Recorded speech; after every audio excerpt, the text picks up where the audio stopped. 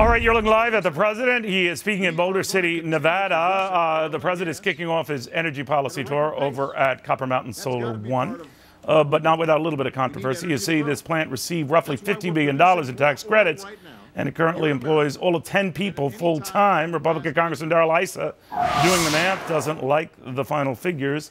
Um, but Congressman, in the course of those remarks, the president more or less saying, you know, uh, it's time to, you know, continue uh, doubling down on solar. It's very, very promising. Less so uh, oil. Um, what do you think? You know, yesterday we had Secretary Chu before our committee, and we had to point out and push and push for him to officially defund a $1.4 billion program that had failed to meet its stimulus deadline, partially because they were using Solyndra uh, uh, and First Solar assets, if you will, that were no longer available. More importantly, program after program we showed were not innovative, didn't meet the laws passed by an all Democratic uh, House and Senate, and yet the uh, the secretary gave himself an A on the handling of the program.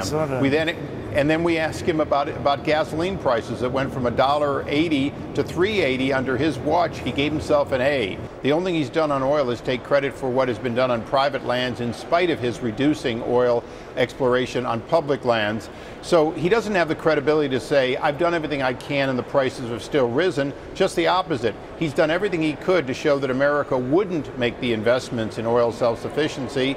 And then he wants to say, but it's not my fault. Right.